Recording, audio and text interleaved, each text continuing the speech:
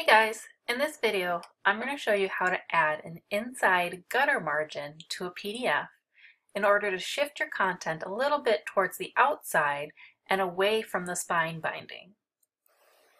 Two things to note here. This should only be done with files that do not have elements that bleed to the edge because otherwise you'll add white space that you don't want. The second thing is, because the margins are applied differently to even pages than the odd pages, one is on the left and one is on the right, you'll want to make sure that your PDF is in the correct order before you change the gutter margins.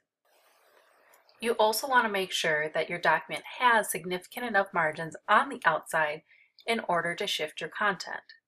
For example, this template file has a half inch margin on all sides. So by shifting it 0.125 from the inside towards the outside, maintains the 0.375 minimum that is required by KDP. To get started, go to the Organize Pages tab on the right. Then go to the More tab in the toolbar and select Set Page Boxes. In this window, Go to the Change Page Size box, click Custom, enter in the existing width and height of your page,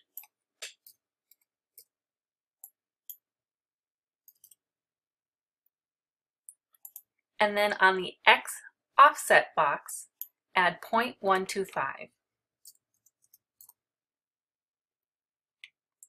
Now the positive 0.125 offset should only be applied to the even pages.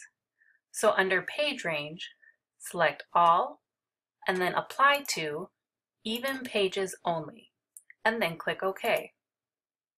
Now you need to apply the gutter to your odd pages.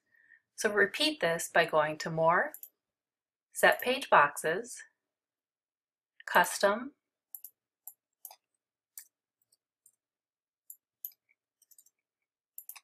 and then in the x offset, add negative 0.125.